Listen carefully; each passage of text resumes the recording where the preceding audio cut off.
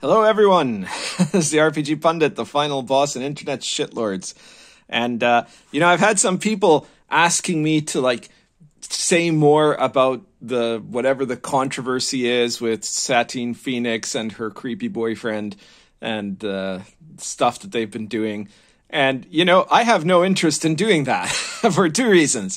First of all, that, that has nothing to do with the RPG hobby. You know, I don't know what that is. That, that's something else. That's the hobby of people who follow reality TV show, you know, ex porn stars and kind of failed actors, um, on, on Twitch streams pretending to be playing D&D. That's nothing to do with us. That's a cult of celebrity for something irrelevant, you know?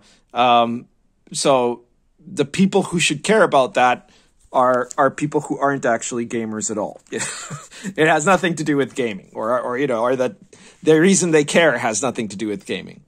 Second, because my Sword and Caravan books are here. This is a way more interesting thing to look at. So today, this is basically like an unboxing. I've just opened them up. I haven't even like turned the page yet. Um, as you can see, this is Sword and Caravan here in uh, in hardcover. Hmm. And here it is in paperback. Both, to me, in my opinion, not entirely unbiased, obviously, but in my opinion, and not having had anything to do with the the production, both seem to be quite good in production. There, it's the book is 190 pages. Um, and as you can see, it's got beautiful color on the outside there. And it's also got beautiful color on the inside. This is a full color product, right? Every page is in full color. And uh, you can see it's got some marvelous medieval decorations.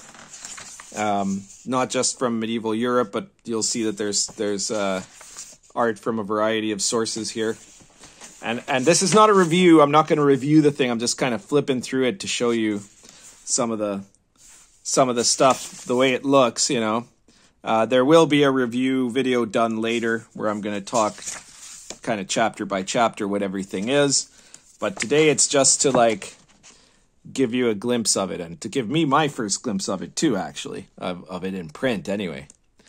Um, so there's a, a, an overview section on the kingdoms. There's an area of the gazetteers where you have all kinds of really spectacular, again, full color hex maps of the area between the Levant all the way to the border of China in in and around 1192 or so. So that in itself is really really goddamn cool, right? My goodness.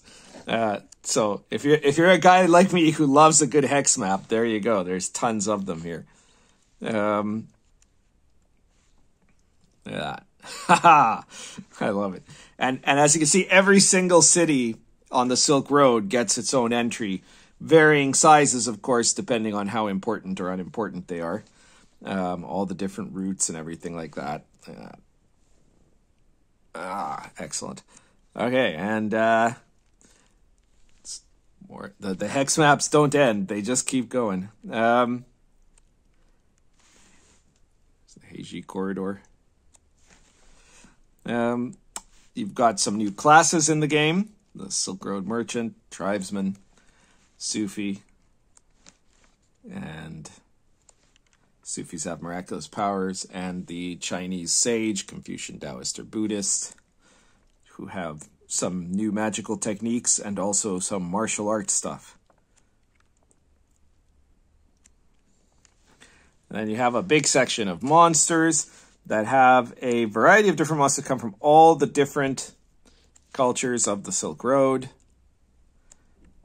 Um, and they're all based again on on the way that these monsters were presented in myths and legends, you know, in in in the actual history. So it's not a, a modern fantasy version of them. It's the the way they were. It's like the art here. Like I had nothing to do with the the art or the layout, right? The, I've got to say, Mad Scribe Games are are now, in my opinion, the best production company for small press in anywhere. You know, like you'd be you, you would be hard place to find something as beautiful as this. It's I am so happy with how it turned out. Um, everything is nicely legible. You know, it's lovely. Trade, wealth, and equipment. So stuff rules on well first equipment tables, stuff on trade goods, um, different sorts of way char- ways characters can make money, and of course treasure, including magical treasures that are again based on the the era and on, on the mythologies and legends of the era. Encounter tables for one traveling along the road. Um, encounters in the city. More encounters. Um, special events that happen when you are in the city. Royal attention. Uh, law and justice. Survival. Extreme temperatures. Chronology.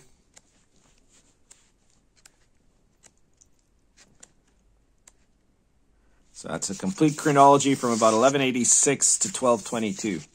Um, name tables, because it helps to have, you know, um, realistic name tables of what real people from that culture at that time called themselves, you know. that's always helpful. Um, as you can see, there's there's some for every culture there. And then this is one of the best things, I think, the random random encounters and adventure seeds where you have like a whole bunch of tables that allow you to make up um, setting areas and stuff happening in them at random. I think that that's uh that's that's cool stuff. Some rules on drugs. Uh, more random stuff, random Sufis, random tribesmen, random village. Uh, so you know you can go along the hex map, rolling that stuff around, and it uh, gives you what you need. Oh, I think that's it. Yeah, that's the last page. Okay, so there you go. This is just your first view of Sword and Caravan.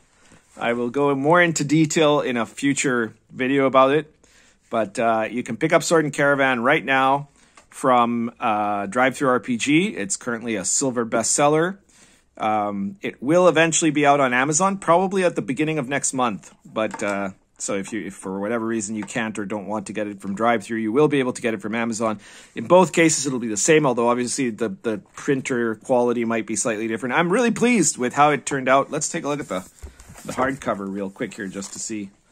Yeah, yeah, the quality is the quality is still every bit it's good. The paper quality here is very nice. Yeah, so I'm I'm quite pleased. I think DriveThru's actually done a good product here in terms of. Um, the printing. I mean, whatever printer they use has done a good job. Um, so yeah, eh, they're they're really excellent, and I think that the I think the soft cover is thirty nine bucks and the hard cover is forty nine. But don't quote me on that. Look at it. Look it up in the link below. Um, you can get them obviously with PDF. Um, and yeah, check them out.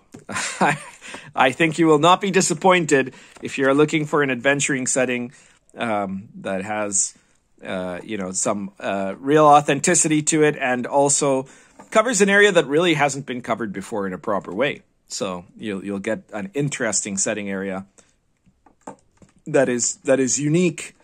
I, I think among products you would be likely to find, at least in a, in this authentic way. That's for sure.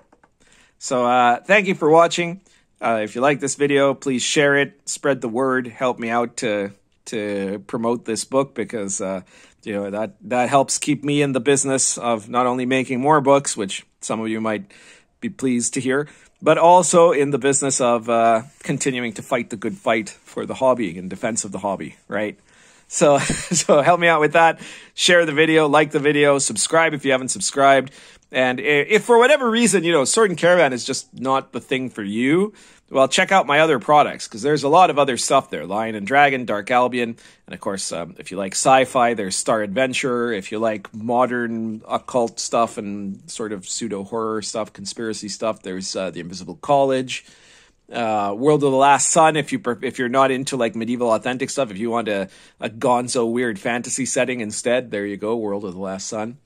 Um, and lots and lots of other stuff. Arrows of Indra, uh, uh, Arrows of Indra. If you want, uh, if you'd rather go to India than to the Silk Road, they're right next to each other. you could, if you've got Arrows of Indra, you'll probably be able to use some stuff from there, even though the the time period is a bit different. Um, but check out all those. Check out the RPG Pundit Presents uh, PDF series. Let's say you don't have the money right now to get Sword and Caravan, but you still want to you still want to get something of mine. Check out the the Pundit Presents series. It's got everything priced, you know, PDFs, 106 of them, priced from I think 99 cents to 4.99, right? And and every one of them has stuff you can actually use in your gaming. All my stuff, you know, just like Sword and Caravan, just like every other book I've made, it has uh, it's it hasn't got an agenda. It's not trying to teach you um, some kind of um, supposed indoctrinating lesson or something like that. It's about the game, and it's it's set up for playing, and it's uh, it's not uh, trying to do something other than being about the game. And so, all of my products, you buy a pundit book, you'll find I I believe stuff that will be useful for you in your games, especially I mean within the limits of the topics you like. But uh, be sure to check them all out, and uh, and again share the video. Thank you very much. Uh, currently smoking nothing because uh, I just finished eating and I haven't gotten around to filling a pipe yet. I was a bit e- I was a bit eager now that I got this to to do this video. So uh, take care. See you next time.